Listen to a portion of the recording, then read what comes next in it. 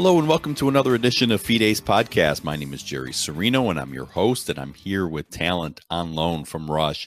Hey, we have been talking and hearing a lot about the violence that has been going on in our cities for the last handful of years, and lots of finger pointing and lots of uh, excuse making and things of that nature.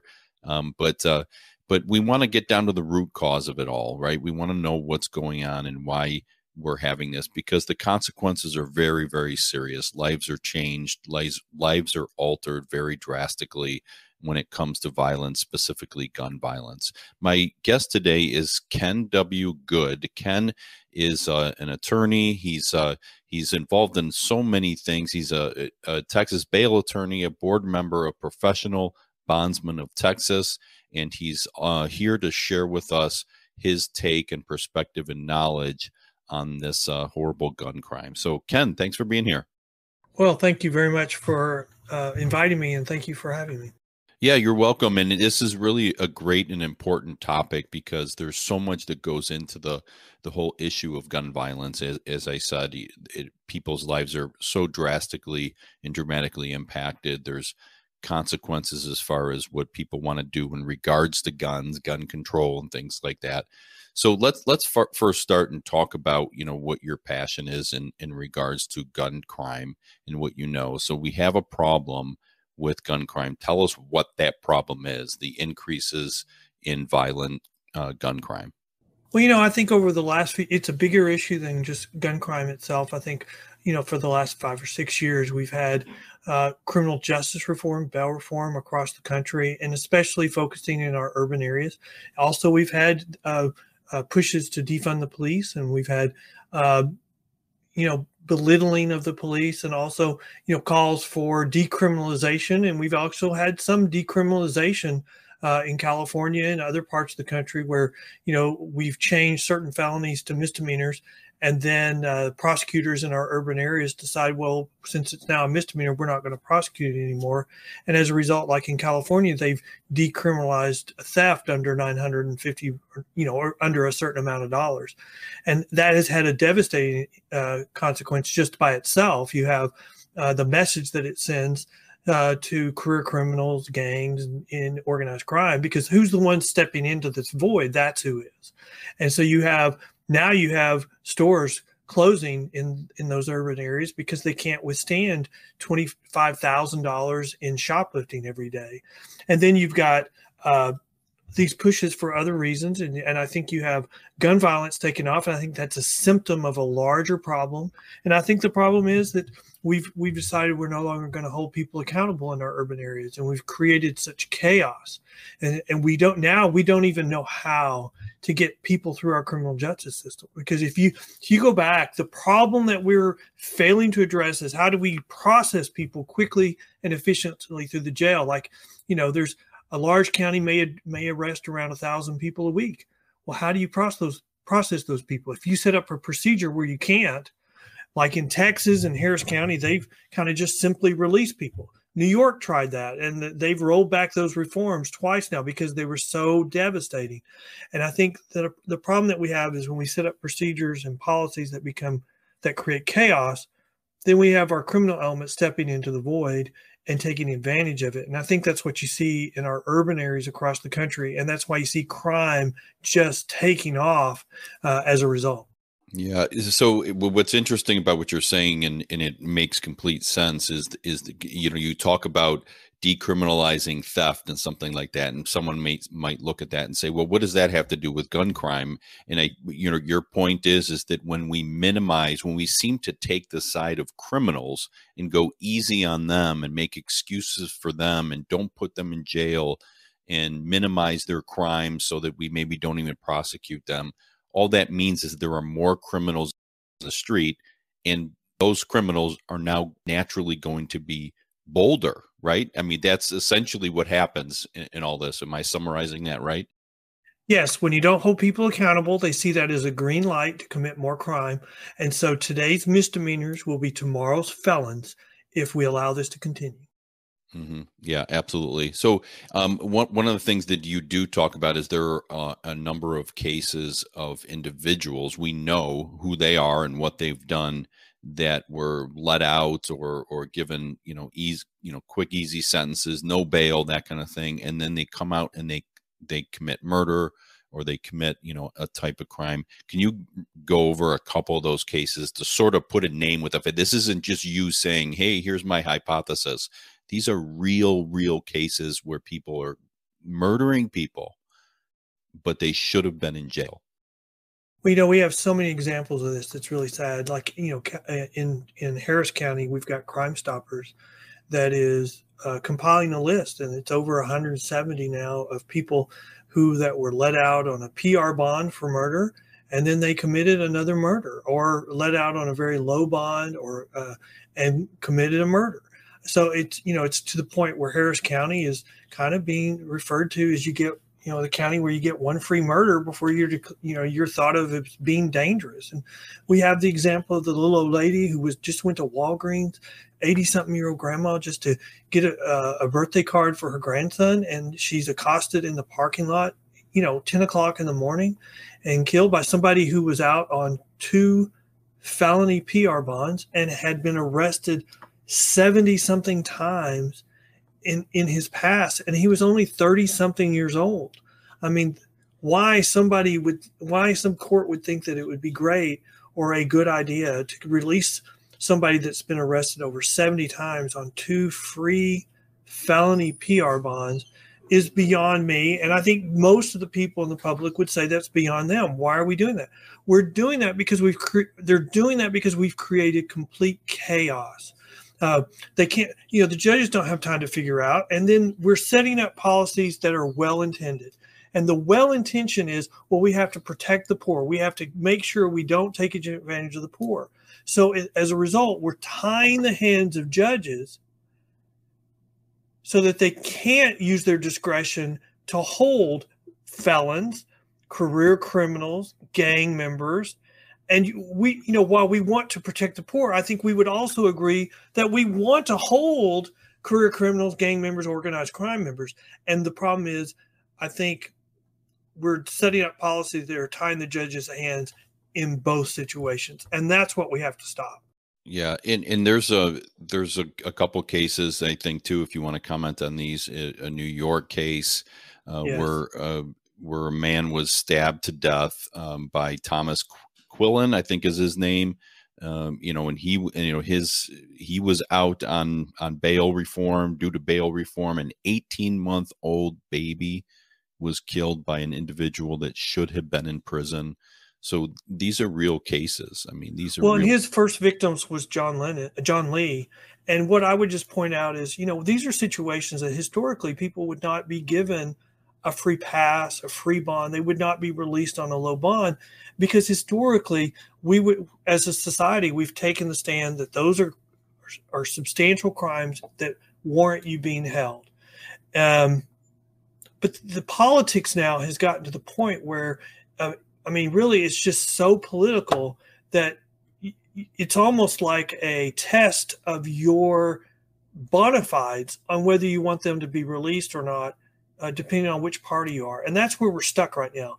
What, what's keeping true reform from passing is that we we have become so divided politically on this issue, and that's the reason why you see New York when they when they um, when the Democrats became in control of all of the government in New York. Uh, you know, uh, both the House, the Senate, with uh, and and the governor with um, large majorities, they came in and passed this humongous bail reform. Well, even Democrats have realized how bad it is, and they've rolled it back on, on, twice now. But it needs to be rolled back further. They're even talking about having a special session before the election to roll it back even further. That's not because they want to. That's because they're seeing the polls and they're saying we're fixing to get massacred if we don't do this. Now that's sad that the the politics is pushing them to fix it we had to have all this damage when if you'd have just looked at it we would have said uh, i mean well the bail industry was saying if you do this these will be the consequence. This will happen crime will increase. And you know they just like oh no that's not true. And now that it's happened it's like oh shock shock shock shock crimes increase. Well go back to four years ago two years ago. We said this was going to happen. And but you know uh, i hope that's one of the lessons here is we're not the enemy. What's good for the criminal justice system is good for the bail industry. Yeah, for for certain. So, it, is it fair to say? So, when we think about some of these laws, uh, you know, it's hard to say where they're all happening. Certainly in New York, we know in San Francisco, we we had that uh, we had that DA that was recalled, and and you get some of these these you know Chicago, you get these large cities in which there's already large crimes, anyways. It, it, could it take to hit these numbers? I, I think I saw a, a, statistic just in a year there was a 34% increase in gun crimes just year over year and a 28% murder increase nationwide. Could it be easily said that five or six of our largest cities can be the ones responsible for this increase? Meaning, you know, my my small town here has no increase in gun crime and most others don't, but just these large cities can create this in and of itself, right? Yeah, they are. And if you take out the largest cities, you know, the five, six largest cities in the country, then uh, our, our, gun violence, uh, we go way down uh, in our, our position. And, mm-hmm. and so it really is a, an issue that dates, I mean, that's focused on our uh, metropolitan areas. And, and I think there's multiple reasons for that. Number one, our, we have failed the inner cities in so many ways. We failed them in schools, we failed them in families, we failed them in job opportunities, and we've really failed them there in the last two years because we've had these protests or riots, whatever you want to call them. We've had businesses burned down, and at the time, you know, I remember them saying, "Oh, it's insured. Don't worry about it. It's just it's, it's just property damage." Well, no, the insurance companies don't pay for riots. And if if they're paying off the claim, they're not rebuilding because it's not safe. The government doesn't have their back. And so what's hurting the inner cities even the most right now is they're losing their tax base. So the funds that they had last year for the very people that live in there, they have less this year unless they raise their taxes. And so it's become a spiral and it will continue to spiral. And because it's going to get worse, because we're going to have to have a backbone to make it better. Because you got to start sending a message, you're going to hold people accountable. Because when it starts spiraling out of control, then we have to give incentives for people we have to give them an incentive to come to court. And we give them the, the incentive for coming to court is we're going to discount your punishment. That's what they do in, you know, in uh, Chicago. You only get 10 years for murder because they got to give you an incentive to come so that they can get the case through the system. Harris County right now, they've got so much chaos that if you get arrested on misdemeanor, you never see a judge, you get released, you never go to court, and you got a 72% chance they'll dismiss your case. That was in 2021 and 2020. I mean, what? I mean, why are we prosecuting crime? Why are we even having misdemeanor crime? Get rid of those courts. Save all that money. All we're doing is a paper shuffle and paying the criminal defense attorney. Oh, it's it's so messed up, and and it, when, as you said in the beginning, when these things become col- political, everything gets distorted. And I mean, so it, it makes me eh, a lot of the things that you were saying when you would talk about, you were saying how they wanted to be reformed because we didn't want to you know, as a society hurt the poor or I guess, you know, hurt minorities within the criminal justice system. But it occurs to me, but if we're talking about New York, San Francisco, Chicago, these are these are largely or at least have large black populations and, and other minority populations. The crimes committed there, regardless of who's committing them, are more likely to be committed upon minorities and lower income people. So, you know, what is their thought process on how is this helping poor people and minorities? Well, I think that really reveals how political it's become because you're right. The very minorities that they're trying to help, that same group is disproportionately getting hurt by the increase in crime. But the dramatic increase in crime is disproportionately affecting them. And, you know, I, I disagree with the statement that, that, that uh, we incarcerate, we have a, a racist criminal justice system. We have an inner city crime problem, and the inner cities have a disproportionate number of minorities. Those are the victims of those crimes, and those are the people committing those crimes. That's not racist. That's a location problem. The pe- everybody that can afford to move out has moved out. The people that can't afford to move out is the the, those are the people that are committing the crime and those are the people that are committing crimes against. That's not a racist system. And and the problem is we kind of can't get to that issue because to, before we can get there, we have to overcome the yelling and we have to overcome groups. I mean, I was on a panel last week and it was supposed to be an analytical discussion about bail and how to reform it, how to make it work.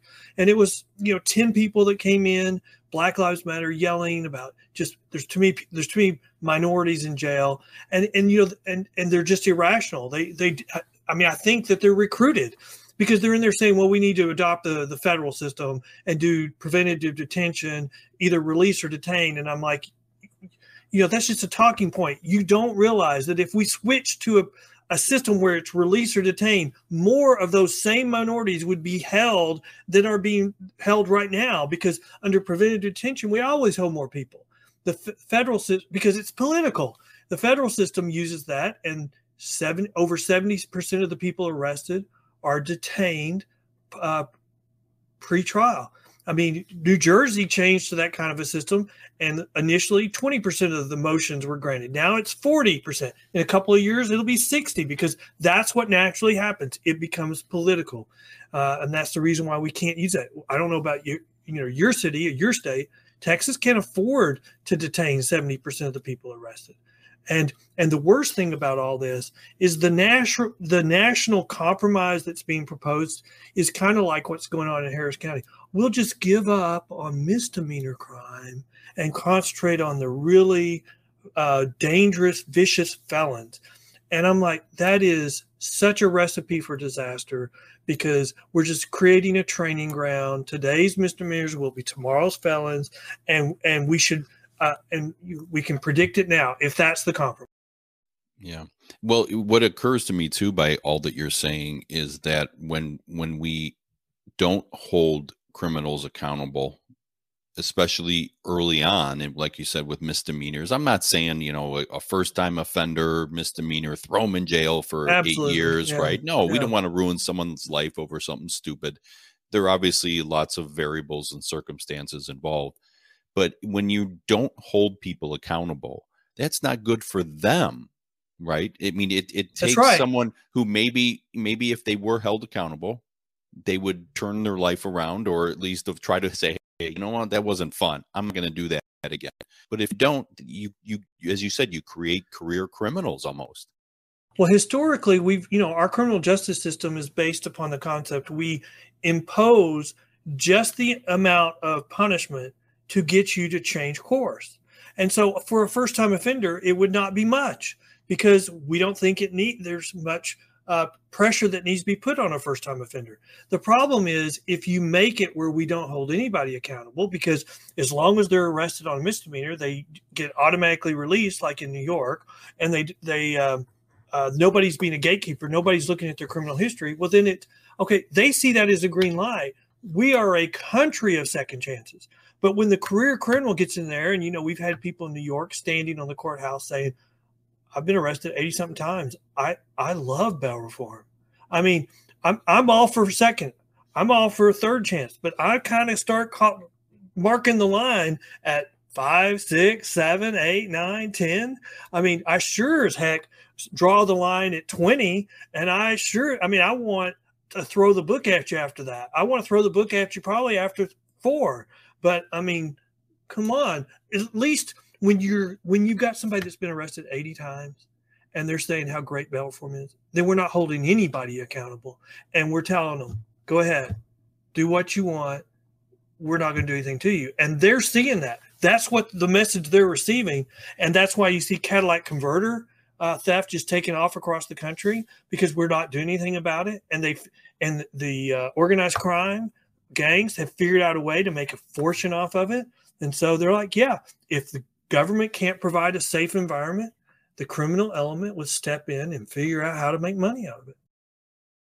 So, do you think that those that are for all this, this reform and and bail reform, all this, do you think that they they truly believe that it will lead to a sort of more just society, or do you th- or do you think that they're just in it for politics, meaning, hey, let me let me do this because it'll it'll look good and it'll get me votes. I think that this is the result of a coalition, And I think there's different parts of the coalition. I think there's a part of the coalition that just is, you know, sunny sunshine. He's like, we, we want to give everybody a second chance. But I think there's a part of the coalition that does not believe that pe- uh, poor people uh, should be prosecuted because they're they're poor, and so no matter how many times they get arrested, they shouldn't be prosecuted. We uh, and and there are elements of that coalition that want to create chaos. Uh, I don't know where Soros state uh, falls in that, but he's probably financing a, a big yeah. amount of this.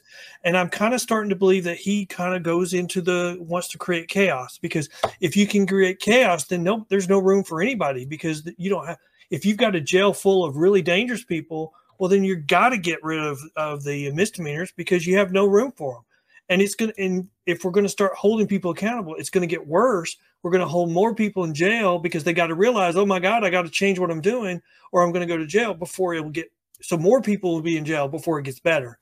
Uh, and i don't know if we have the backbone for that right now because if we even tried there would be a chorus of you're racist a chorus of of you're just trying to take advantage of black people. We already have enough people in jail, and we've got more people in jail in the United States than anybody else. And nobody comes back and says, "Where do you think the world sends their drugs?" They send all their drugs to the United States, so of course we're going to have more people in jail. That's where all the drugs are coming. And and if you want us just to give up on drugs, well, then we're really going to give up on crime because most crime is some type of offshoot of the drug trade. And so we can't give up on, on crime. And so we can't give up on drugs. And so we're going to have to have grow a backbone and stand up to these people and say, we're going to do what's right. You can get on board or you can just go away because it doesn't seem like the compromise that they are willing to make is is good for the uh, society or good for the criminal justice system. Yeah, none of it. None of it seems to be good. Uh, policies of the left are never, never good, and certainly never what they claim them to be. But, but I want to make a, a, bit of a statement, and then just get your comments on it. This is my statement, not yours. My belief. You know, we we we spent billions and billions of dollars overseas. We've recently spent. I I want to say the total amount of of money spent in Ukraine. And this isn't a discussion on Ukraine, but we've spent billions of dollars there. We're spending billions about, I mean, we're, we're uh, as a country, we're $30 trillion in debt. So we don't have a problem spending money. I'm not suggesting we spend more. But why is it that we can't have enough jails for these criminals and enough people in the in the ju- criminal justice system to process them appropriately. And you know worse if we can spend 40 billion dollars to a, send to a country that most people don't even know where it is why can't we spend this kind of money to protect the people of this country and of which that is the job of our government to protect our rights. Those innocent people that are that are being killed or robbed or raped and their businesses destroyed or whatever the case may be it's the job of government to protect them from that stuff. And it seems like they don't want to spend the time they don't want to put forward the laws they don't want to enforce the laws and they don't want to spend the money as though they act like well, we, we don't have the money. You know i think we go through cycles and you know i mean one of the things that you learn uh, you know one of the things i learned was that you know we have to study history so that we won't repeat the same mistakes. And if you don't study history then you will repeat the same mistakes. And i think we're in the process of repeating some mistakes from the 60s you know i think building jails building new jails building additional jails is very political and you know it's a coalition you know there's even people on the right that don't want to spend the money to, for to uh, build a jail because they're fiscal conservatives. And so all you got to do is defeat a jail proposition and then that puts pressure downward to do bail reform or some criminal justice reform. So the coalition is always moving but when you get a coalition to defeat a, a jail proposition and you know here's my position. I've got several really probably very strong positions, and a lot of people disagree with me. But as long as crime's going up, we don't have enough jail space because you're going to have to have more people in jail, and until crime's going down, you don't have enough people in jail because they're seeing that that they can make take advantage of it and they they're uh, making money off of it. The organized crime is. The other thing I would say is, you know, if the government either through defunding the police or or just not having enough police. If they can't protect you and they can't protect me well then they they should naturally give me the tools or allow me the tools to protect myself. It's just pure logic. I mean it it really offended me in the last year when some police departments response was you know we're having a rash of break-ins house house break-ins people storming homes. And their response is you should give them whatever you want we can't protect you so you should give them whatever you want and i'm like you know y'all need you know the criminals need to come to texas you know you if you decriminalize theft and you know fine but in texas we have what call what's called the castle doctrine and that means I can defend my castle, I can defend my house with lethal force. And so it just has set up this all huge irony in our urban areas. You get you won't get prosecuted for breaking my house to steal something, but I won't get prosecuted for shooting and killing you if I catch you. That's ludicrous. We shouldn't have that system. And the reason why we have it in Texas and our progressive areas is because of this stupid politics that we have going on. These are not, you know, this is not about what's best for the criminal justice system.